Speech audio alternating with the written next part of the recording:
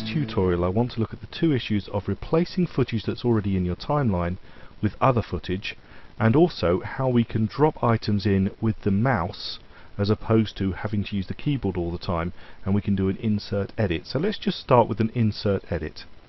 Now at the moment I've got my current time indicator here but say I want to put a new clip at the beginning of this sequence. Say for instance I've got this clip right at the beginning of waves and I want these waves to come in right at the beginning. I can click and drag and pull it to the beginning and you'll see that it's going to overwrite everything.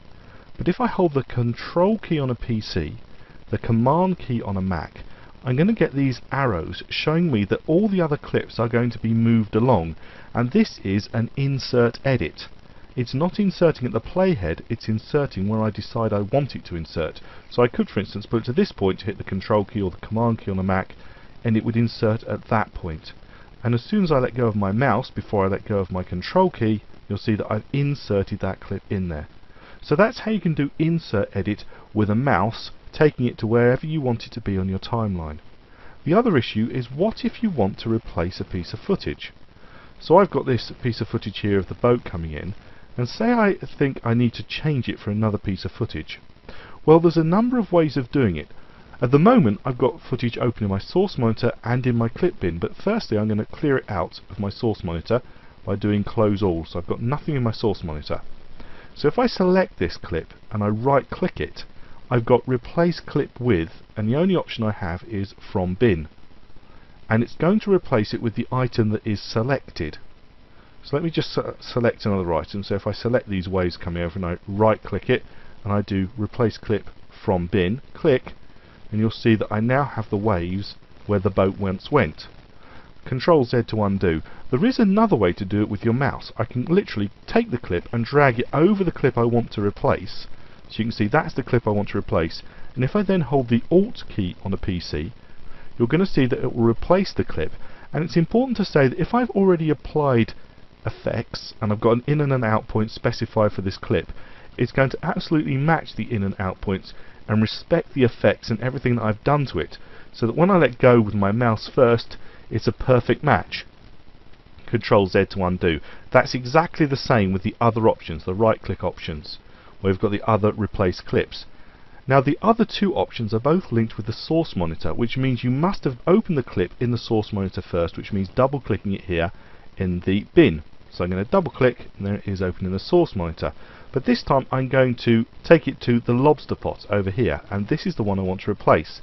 Now I haven't got an awful lot of footage selected here and I'm going to right click and I've got replace clip from and I can go from source monitor and it replaces it there.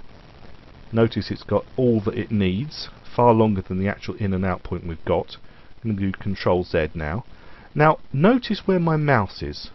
Okay, the last option is really respecting where your mouse is. And also notice that my clip here actually starts pretty close to the beginning. Okay, now I'm going to start my mouse here.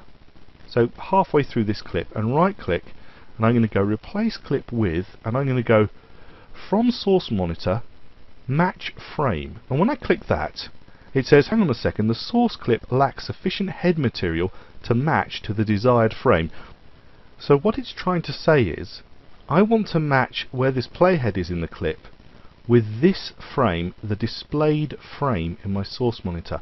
And clearly I'm this far into my clip and there isn't that much headroom in this clip. So if I take the current time indicator on my source monitor and I move it along to a point whereby there is plenty of room, say about there, okay, so now what I'm going to be saying is, at this point in my timeline, make this frame in my source monitor match to exactly that point and then fill the rest of this clip with the rest of this clip. Okay, so I'll say that again.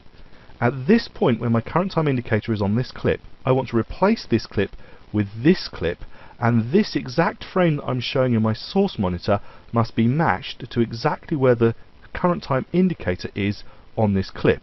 So if I right click and I go replace with clip from source monitor match frame click OK. It matches and you can see that's exactly the same frame.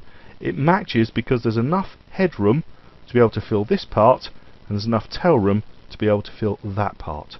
So that's how you can do an insert edit with the mouse And those are the options for replacing clips so that you can get them exactly right for the action of your shot.